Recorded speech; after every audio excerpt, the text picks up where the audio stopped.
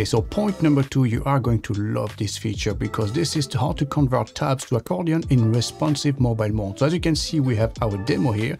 So if you are on a desktop PC, on a screen, on a laptop or a widescreen device, basically it will display this way. You have the tabs on top. If you click on them, it will reveal all the content underneath. Now this experience will change completely if you are using a mobile phone. All you have to do is to enable one feature and you will change everything around. Very good. So now let me show you what this looks like on a mobile phone. So we go here in responsive mode, select mobile, and there you go. Now, instead of having tabs, we have an accordion. As you can see, this is much more user-friendly if you are displaying this website on a mobile phone.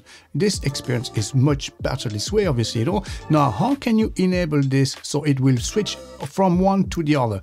Well, very easy if you go into the style feature and from here scroll down and we have the extra options and here we have tab navigation responsive as you can see force accordion. So this is the option that will allow you to switch from one to the other whether you're using a desktop device or a mobile phone